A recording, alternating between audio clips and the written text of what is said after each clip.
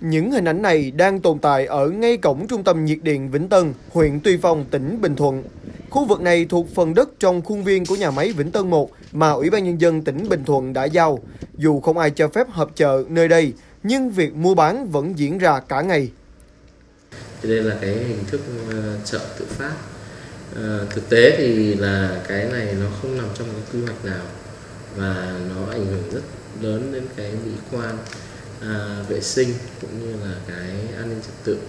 ở khu vực nhà máy nhiệt điện Vĩnh Tân một nói riêng và trung tâm điện lực nói chung thì tất cả các chủ đầu tư trong trung tâm thì cũng đã thống nhất và cũng đã báo cáo nhiều lần với lãnh đạo ủy ban nhân dân tỉnh à, về đề xuất là sớm di rời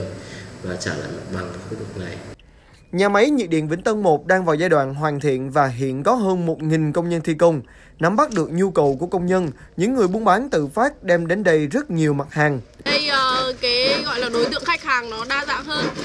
Người Trung Quốc có, người Việt Nam có.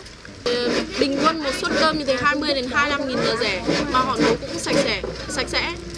Không chỉ có dân địa phương mà còn có các tiểu thương từ các tỉnh như Ninh Thuận, Sóc Trăng, Thành phố Hồ Chí Minh cũng ra đây buôn bán. Thậm chí có người còn biết nói tiếng Hoa để mời chào và nói chuyện với công nhân Trung Quốc. Nơi này còn trở thành bến xe khi có rất nhiều taxi đậu chờ khách.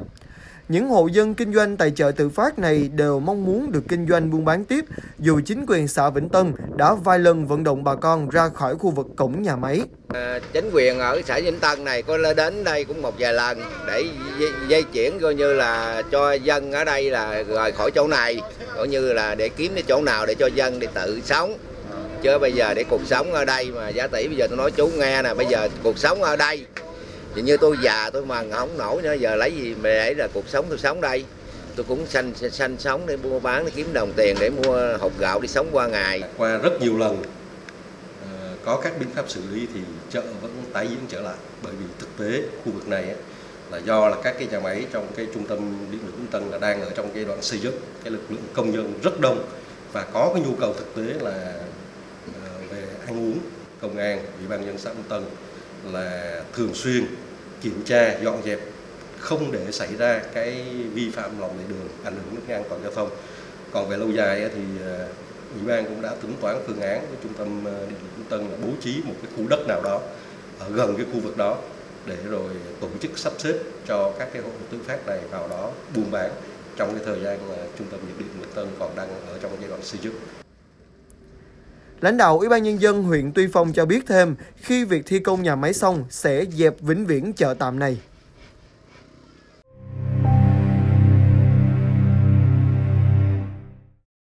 Chúng tôi biết bạn có nhiều lựa chọn và chúng tôi luôn là sự lựa chọn tốt nhất. Đăng ký kênh youtube Báo Thanh niên để cảm nhận nhịp thở xã hội đầy màu sắc trên màn hình của bạn.